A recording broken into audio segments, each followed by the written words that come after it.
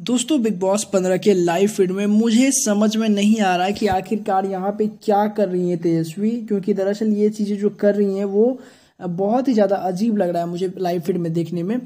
दोस्तों, यहाँ पे नेहा का हमने बेसिकली मकसद देख लिया है कि वो नहीं चाहती हैं कि करण और तेजस्वी एक साथ रहें, और वो काफ़ी तरह से ये कोशिश करते हुए नज़र आ रही है, लेकिन मुझे अब ये बात तेजस्वी की समझ में नहीं आ रही है कि तेजस्वी कैसे बुराई कर सकती है करण की यहाँ पे नेहा के पास। दरअसल दोस्तों, ये चीज़ें थोड़ी सी अजीब ज़रूर है। हाँ अगर तेजस्वी की ये प्लानिंग है कि वो इस तरह से नेहा से, के अंदर से बात निकलवाना चाहती है कि क्या सोचती है वो इन दोनों के बारे में तो फिर ये सही है। लेकिन अगर इसके अलावा कुछ और है, क्योंकि अभी यहाँ पे तेजस्वी बोलती हुई नज़र आ रही है कि मुझे ये नहीं पता कि करण ने आप लोगों से बात की है उस फाइट के बाद। जबकि ये बात वो शॉप वाले टास्क में क्लियर हो चुकी थी। आई डोंट नो ये क्या हो रहा है घर के अंदर। आपका क्या है मानना दोस्तों? कमेंट सेक्शन में जो बताइएगा। फॉर द अपडेट सब्सक्राइब बोलिएगा देखते रहिए, हँसते रहिए, हंसाते रहिए।